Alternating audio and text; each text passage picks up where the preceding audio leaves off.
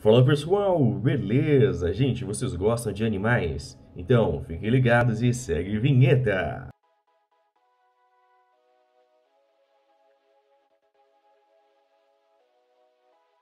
Bom, gente, não é mistério nenhum que nós, seres humanos, somos muitas vezes fascinados pelos animais, sejam eles domésticos ou selvagens.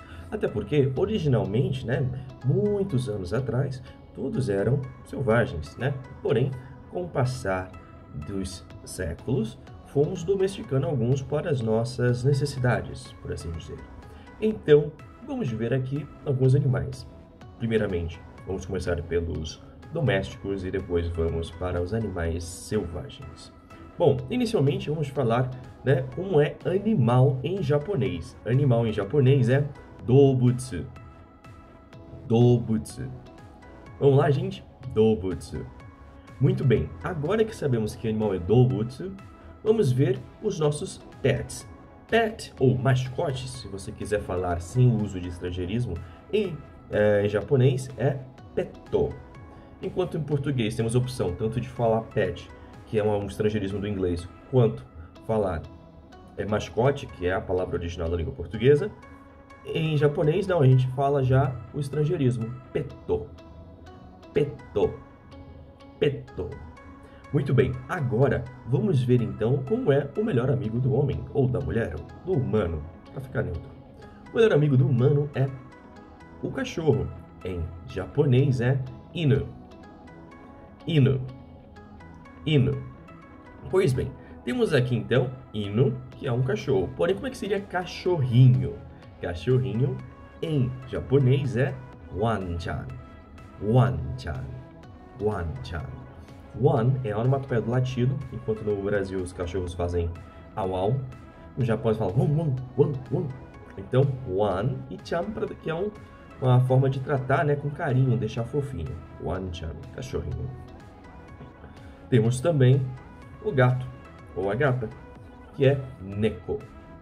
Neko. E se você quiser deixar fofinho, Neko-chan.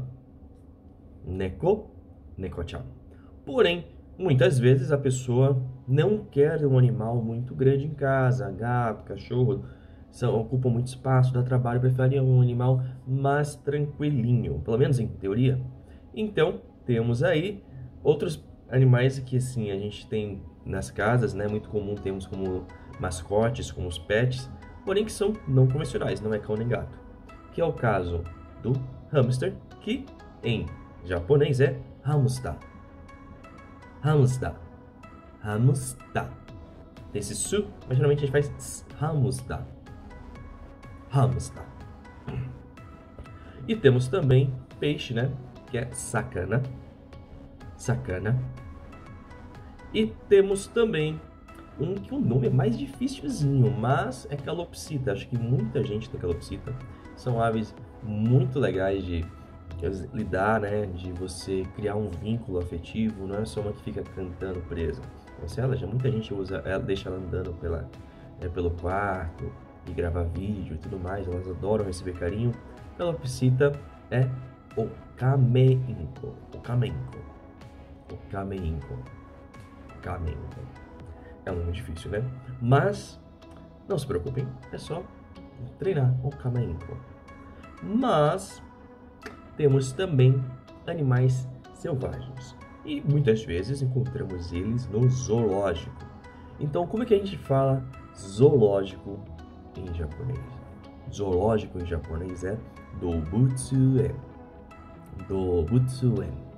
Dobutsuen. Dobutsuen, zoológico. E lá podemos encontrar leão, que é Ryan, que vem do inglês lion. Ryan. Ryan. Encontramos também outro grande felino muito popular, que é o tigre, né?